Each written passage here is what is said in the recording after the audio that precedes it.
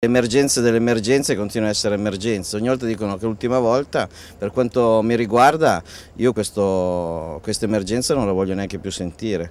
Abbiamo dato un sacco di soldi, non è giusto che il nord o chi si comporta bene in giro per il paese deve sempre pagare per chi si comporta male, per chi non è capace di organizzarsi pur avendo avuto un sacco di soldi. Quindi per quanto mi riguarda il voto sarà contro l'aiuto al sistema dei rifiuti a Napoli.